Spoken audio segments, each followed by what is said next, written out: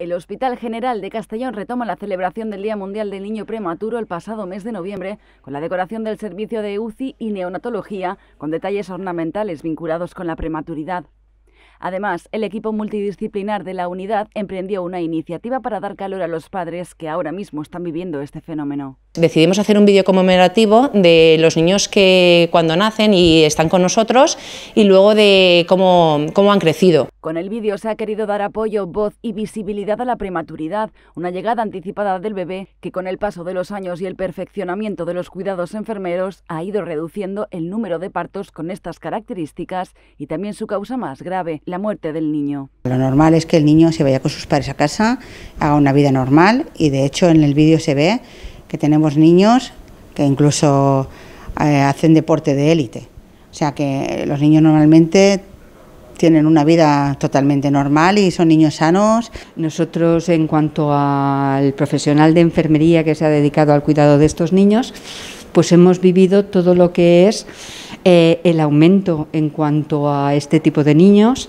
Hemos vivido pues lo que ha sido también el el cambio de estos niños que al principio eh, se consideraban de viabilidad a unas semanas determinadas y ahora ha bajado bastante y gracias a toda la tecnología que se ha desarrollado pues de hace 30 años para acá pues son unos niños que tienen muchas mejores expectativas y pronósticos de, vida. Hola, soy Odey y nací prematuro en el Hospital General de Castellón. Nací con 33 semanas y 1 kilo 600 y hoy, el Día del Prematuro, me gustaría agradecer la labor que hacen los sanitarios, ayudando tanto al niño a sacarlo adelante como a los padres, ayudándolos emocionalmente. El trabajo de la enfermera y su especialización en pediatría han liderado este cambio de tendencia.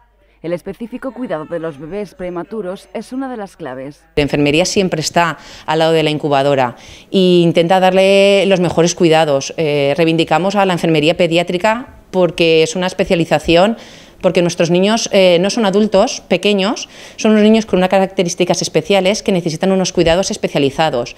Les damos unos cuidados, como os he dicho, centrados en el desarrollo que tienen en cuenta la lactancia materna, el cuidado implicado de, los padres, de las familias, tenemos puertas abiertas para que ellos estén eh, las 24 horas con sus niños, el método canguro, que es muy importante, y la mínima manipulación, para solo tener que manipularlos en, determinados momentos. Lo que hacemos es que agrupamos las manipulaciones.